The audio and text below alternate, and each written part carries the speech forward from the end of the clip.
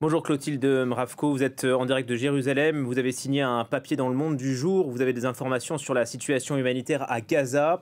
Et vous titrez qu'actuellement un tiers des hôpitaux sont à l'arrêt. Oui, effectivement, hein, ce, sont les chiffres que m'ont euh, donné le, croissant euh, euh, rouges palestiniens, euh, ils sont hors service parce qu'ils ont été euh, bombardés ou bien parce qu'il manque de carburant, parce qu'en fait, les hôpitaux ont besoin de carburant pour faire fonctionner les, générateurs et avoir de l'électricité. Alors, vous le disiez, hein, ce sont des unités de soins intensifs, mais également les unités pour les bébés prématurés qui seront les premiers visés si les hôpitaux n'ont plus d'électricité.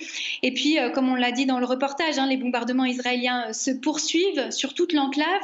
Les hôpitaux sont débordés mais également euh, les secouristes. Pour vous donner un exemple, un jeudi, une petite fille de 13 ans a été sortie euh, des décombres d'un immeuble de Ragnonis dans le sud de l'enclave après 35 heures sous les gravats. Les secouristes n'ont pas le temps en fait d'aller chercher euh, tous les, les, les corps qui se trouvent actuellement euh, sous les décombres. Et puis quand ils ramènent les blessés à l'hôpital, il n'y a pas assez de place. On a euh, des scènes dans les hôpitaux, notamment le plus grand hôpital de, Gaza, Al-Shifa, où les gens sont traités à même le sol. Ils sont soignés euh, par des médecins alors qu'il n'y a plus de lit. ce sont des proches qui portent les perfusions. Un médecin me disait hier qu'il opérait désormais ses patients dans leur chambre puisqu'il n'y a plus de salle d'opération disponible.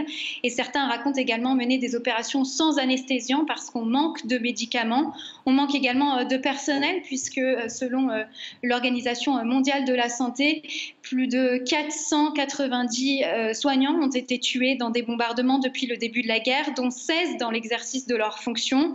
Alors l'Organisation mondiale de la santé demande un cessez-le-feu humanitaire immédiat, mais pour l'instant, les grandes puissances n'arrivent pas à se mettre d'accord. On l'a vu hier soir au Conseil de sécurité à l'ONU. Et on le verra tout à l'heure à Bruxelles. Merci beaucoup.